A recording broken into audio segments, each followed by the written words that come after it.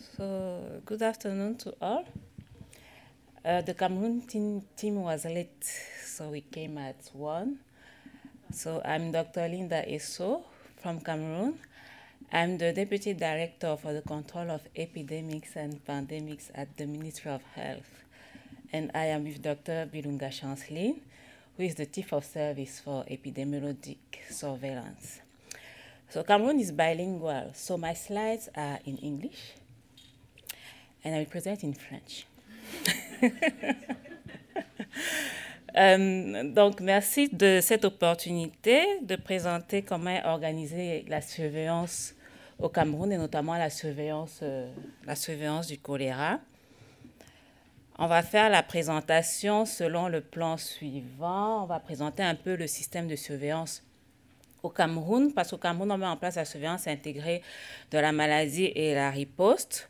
On va montrer comment la surveillance est implémentée. On va parler un peu de la confirmation au labo, de la gestion des données, et puis comment la surveillance nous aide à mettre en place la réponse aux épidémies de choléra dans notre pays. Euh, globalement, en ce qui concerne le système de santé euh, du Cameroun, le Cameroun en lui-même, c'est ce qu'on appelle en général l'Afrique en miniature. Donc, c'est un mélange de cultures, un mélange de dialectes. On retrouve un peu toute l'Afrique euh, dans le Cameroun, ce qui fait qu'il faut aussi pouvoir mettre en place euh, une, réponse qui aille à toute cette diversité de, la population-là. On le sait, le type d'économie, c'est euh, faible, moyenne, euh, income, lower, middle income economy, as you see.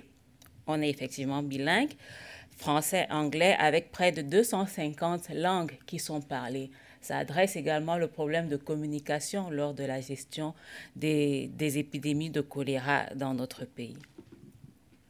Donc le système de santé, c'est un système pyramidal à trois niveaux, avec à la base le niveau périphérique et un peu plus bas la communauté, évidemment.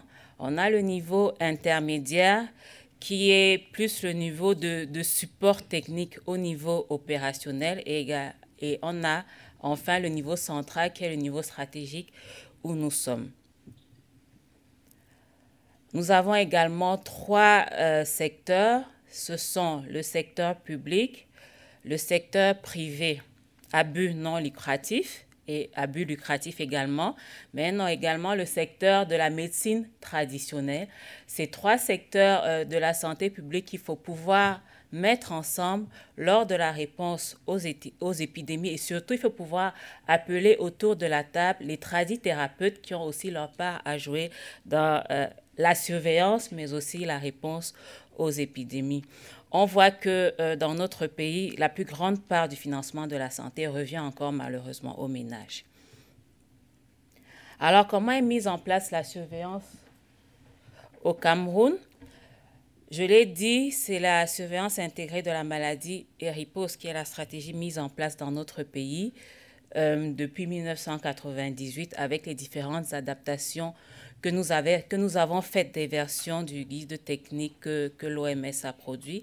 Donc en 2019, nous avons amorcé l'adaptation de la troisième édition du guide technique SIM-Air qui a été adopté officiellement par euh, les autorités sanitaires en septembre 2021. Comment on met donc en œuvre cette surveillance-là? Elle est déjà basée sur la définition des cas, comme on le sait en ce qui concerne le choléra, avec la définition des cas suspects de choléra. On a également la définition des cas confirmés de choléra. Alors, notre définition de cas suspects de choléra, c'est dans des zones où on n'a pas encore déclaré d'épidémie, c'est tout patient âgé d'au moins deux ans et qui présente une diarrhée aqueuse aiguë avec une déshydratation sévère ou qui meurt de ces symptômes-là.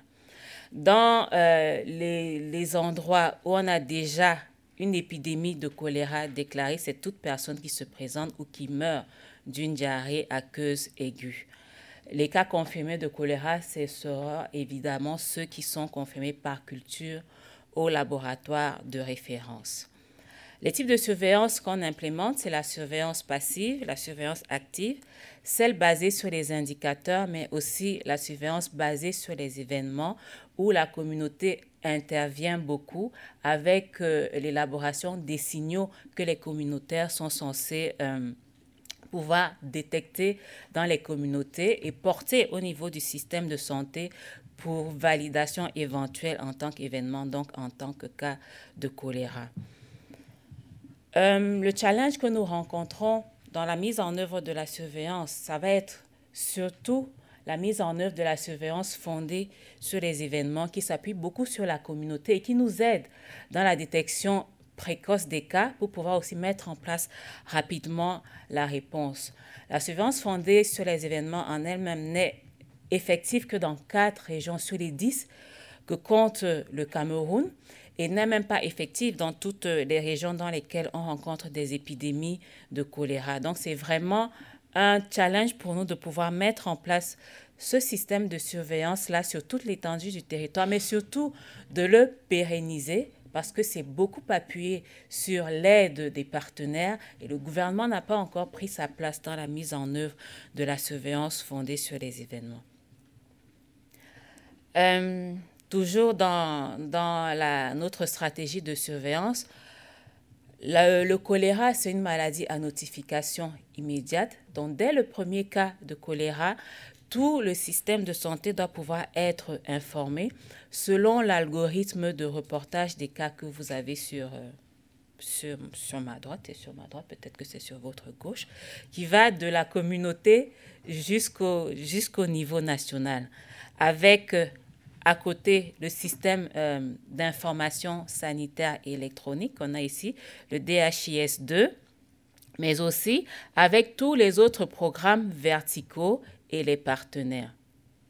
Donc l'information qui part de la communauté doit pouvoir arriver jusqu'au département, jusqu'aux différentes directions du ministère de la Santé et même au niveau du centre des opérations des urgences de santé publique dans le cas où on devrait procéder à une activation de celui-ci. En termes de euh, confirmation diagnostique au laboratoire, on le sait, euh, c'est des échantillons de sel qu'on collecte pour cela. Au Cameroun, en ce moment, on fait la culture pour euh, la confirmation des cas de, choléra. Et puis, les TDR sont effectués également au niveau opérationnel. Mais euh, les principaux challenges, c'est d'abord en ce qui concerne les TDR, les tests de diagnostic rapide, c'est leur disponibilité au niveau des utilisateurs. On est très souvent euh, en tension de stock, donc très souvent, même dans des, districts de santé où on n'a pas encore confirmé euh, de cas de choléra, juste par analogie, on se dire on a épidémie de choléra dans tel autre district de santé, certainement ça va être un cas de choléra. Et vous voyez, allez voir dans les, les notifications de l'OMS que le Cameroun fait partie des pays qui notifient euh, les cas suspects de choléra et c'est très souvent dû euh, à cette tension de stock en test de diagnostic rapide que nous, que nous rencontrons. Le, euh, le challenge aussi en ce qui concerne le laboratoire, c'est de pouvoir faire la confirmation des cas de choléra dans les dix régions du pays. On n'a que trois laboratoires euh, de référence pour la confirmation des cas de choléra. Pour 10 régions, c'est extrêmement insuffisant. Il faut pouvoir transporter les échantillons de choléra d'un district de santé vers le laboratoire de référence avec tout ce que ça comporte comme coût, tout ce que ça comporte comme risque pour l'échantillon qui risque de ne pas arriver euh, interprétable au niveau euh, du laboratoire de référence. Euh, j'ai déjà parlé des challenges en ce qui concerne le labo. Maintenant, je vais parler euh, de la gestion des données. Les données de routine dans notre système euh, de surveillance sont collectées à travers le DHIS2, à travers cette plateforme-là, qui est encore quand même assez nouvelle dans notre pays, qu'on met en œuvre depuis 2017 euh, à titre euh, d'exemple, pour la nouveauté, ce n'est que à la dernière semaine épidémiologique qu'on a atteint un taux de complétude acceptable à 90% en utilisant le DHIS2. C'était quand même un bon milestone pour nous, mais on a encore des efforts à faire en termes de qualité de ces données-là qui sont reportées dans le DHIS2. Il faut dire que dans ce DHIS2 aussi, on a paramétré un tracker choléra pour le suivi des cas de choléra. On l'a paramétré en 2018, je pense, lorsqu'on a eu la, dernière grosse épidémie de choléra. Euh, les data managers des, des régions en épidémie avaient été formés, mais avec le temps, le manque de formation, le manque d'outils pour effectivement implémenter le DHIS2, le tracker choléra est très peu utilisé. L'épidémie qu'on a en ce moment même, euh, le tracker choléra n'est pas utilisé parce que les acteurs ne sont pas formés sur le terrain pour cela. Concernant euh, la surveillance fondée sur les événements, on a euh, deux grosses bases de données. D'une part, on a les fichiers Excel avec la surveillance fondée sur les événements que je vais appeler basiques, qui est mise en œuvre par les agents de santé communautaire sans outils informatiques. Et puis de l'autre côté, on a la plateforme EWARS, Event Warning Alert Response System qui, est mise en œuvre, qui était mise en œuvre dans les deux régions en crise du Cameroun et pour euh, laquelle on veut passer à échelle. Ça veut dire digitaliser un peu plus la surveillance fondée sur les événements et ainsi euh, merger les deux systèmes de, de, surveillance fondée sur les événements qui sont en cours en ce moment euh, dans le pays. Donc le challenge, comme je le disais, c'est la gestion des données des épidémies.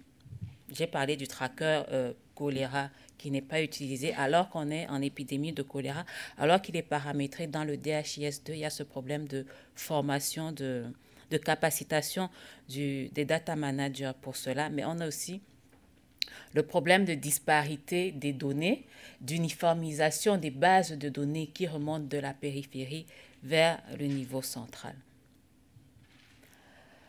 Concernant euh, la logistique, la, gestion logistique et, la gestion des stocks, ce que je peux dire, c'est qu'un playbook avait été élaboré pour qu'on ait quand même euh, les besoins minimums en cas de survenue euh, d'une épidémie dans notre pays, épidémie que ce soit de choléra, de méningite ou autre, mais qui n'a pas été mise à jour depuis quelques années déjà.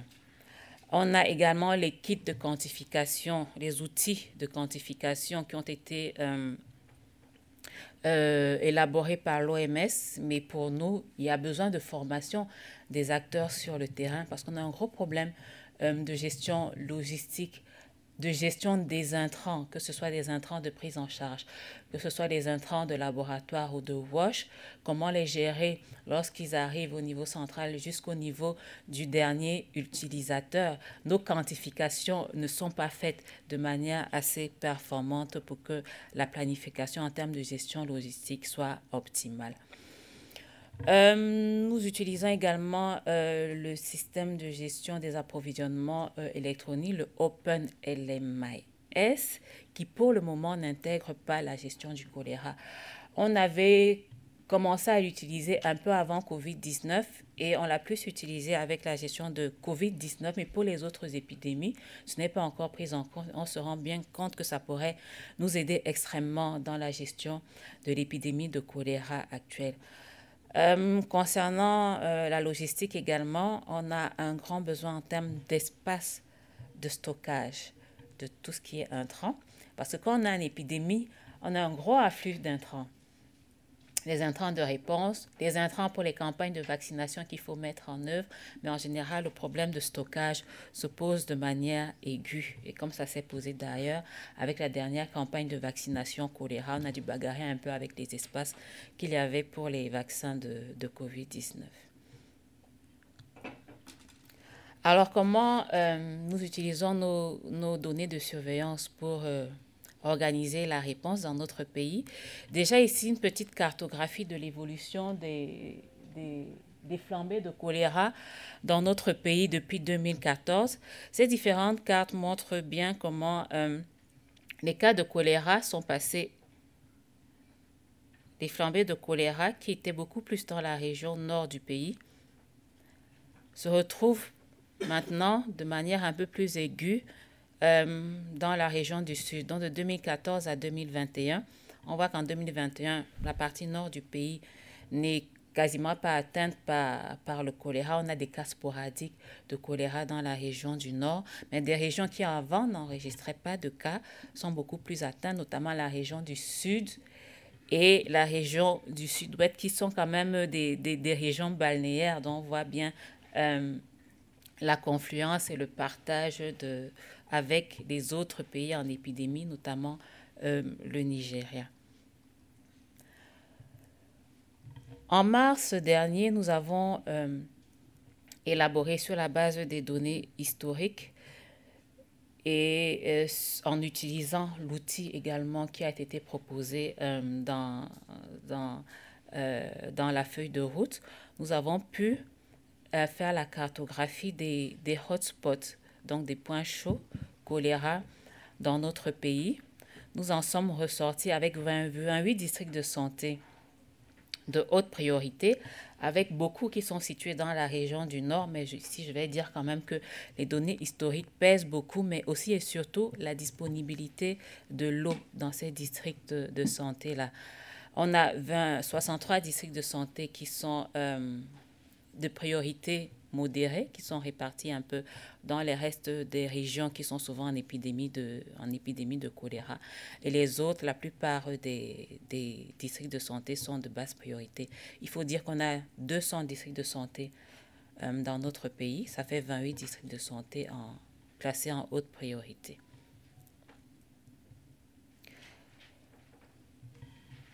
Euh, là, sur cette courbe, vous voyez un peu l'évolution des cas de choléra notifiés dans la région qui, est en, qui connaît la plus grosse flambée de choléra en ce moment, au Cameroun, c'est la région du sud-ouest, qui a enregistré déjà près plus de 3000 cas de choléra sur les 5000 que le, le, pays a enregistré depuis octobre 2021. On voit qu'en 2017, il y avait quasiment pas de cas, des cas sporadiques. Et puis en 2018, on commence à, à observer ces, ces flambées de cas-là avec entre 2020 et octobre 2021 encore euh, des cas sporadiques. Donc il y a vraiment nécessité euh, de définir et d'étudier vraiment le type de transmission qu'on a par région dans notre pays et même pour, pour tout le pays. Alors, quelle est la situation euh, actuelle du, du choléra au Cameroun? On en est à 5500 cas de choléra pour l'épidémie actuelle qui a cours depuis 2021, euh, depuis octobre 2021. À la 15e semaine épidémiologique, on a eu 549 nouveaux cas avec 8 décès enregistrés. Les régions actives sont celles du littoral, du nord avec euh, des cas sporadiques, ici, dans le district de santé de Pitois, on n'a eu que 10 cas depuis le début de l'épidémie. La région du sud-ouest est celle qui paye le plus lourd tribut, avec plus de 3000 cas sur les 5000 cas enregistrés. La région du sud et la région du centre. Comme je le disais, c'est 5448 cas notifiés depuis le début de l'épidémie. Ici, nous avons euh, la courbe épidémique globale hein, depuis le début de l'année au niveau national. Et puis on a cette, euh, évolution-là avec euh, transmission euh, communautaire à bas bruit. Et puis cette grosse flambée qui est surtout portée par la flambée de la région du sud-ouest. Parce que sans la région du sud-ouest, la courbe serait toujours la même telle que vous la voyez là. On a eu cette grosse flambée dans la région du sud-ouest après, avec près de 1000 cas en, en, une semaine qui ont porté la courbe épidémique à ce niveau-là. Donc ici, c'est l'évolution par semaine. C'est à la semaine 12 qu'on a eu la grosse flambée dans la région du sud-ouest. Et puis, euh, ici, on présente les derniers foyers actifs par région au 15, au 15 avril. Mais à la date d'aujourd'hui, euh, il y a des régions qui sont à zéro jour sans notification. Donc, on voit là les, les cinq régions actives pour le choléra au Cameroun. Euh, donc, en termes de réponse, on a activé un système de gestion de l'incident avec coordination de la réponse, que ce soit au niveau du ministère de la Santé publique, mais aussi avec euh, les différentes sectorielles impliquées mais aussi les partenaires qui appuient, qui appuient la réponse. la prise en charge des cas est gratuite dans les unités de traitement de choléra. On mène des activités de, de sensibilisation au niveau de des, des, communautés, mais aussi, mais aussi le WASH, qui est un problème quand même. Euh, on sait que c'est par là que passera l'élimination du choléra. Ici, donc, on a des, des images. Là, c'est dans la région du sud-ouest, dans le district de santé des Kondo-Titi. Alors là, c'est des maisons où il n'y a pas d'accès à l'eau potable dans cette cité balnéaire-là. Donc, on a dû euh, mettre à disposition euh, de l'eau potable. Je pense que c'était euh, les Norvégiens qui nous avaient aidé à faire ça dans le district de santé des Kondo-Titi. À côté de la disponibilité de l'eau potable, on a le problème de défécation à l'air libre. C'est des communautés où il n'y a pas de latrine. Mais c'est aussi des communautés où l'accès aux soins est très difficile. Donc, il faut pouvoir mettre en place des unités de traitement de choléra dans ces communautés affectées-là et permettre même que le personnel de santé y ait accès pour mettre en place les interventions de réponse aux besoins. Euh, donc, euh, merci pour votre attention. À, la fin de cette présentation, où on dit merci à l'appui des partenaires, mais aussi surtout au, leadership parce que euh, les différents secteurs, notamment le secteur de l'eau, est de plus en plus impliqué dans la réponse au choléra. C'était un gros challenge ces dernières années de pouvoir amener les autres secteurs autour de la table. Mais de mieux en mieux, euh, ça se fait au Cameroun et on espère pouvoir entrer dans notre feuille de route d'élimination du choléra effectivement cette année. Je vous remercie.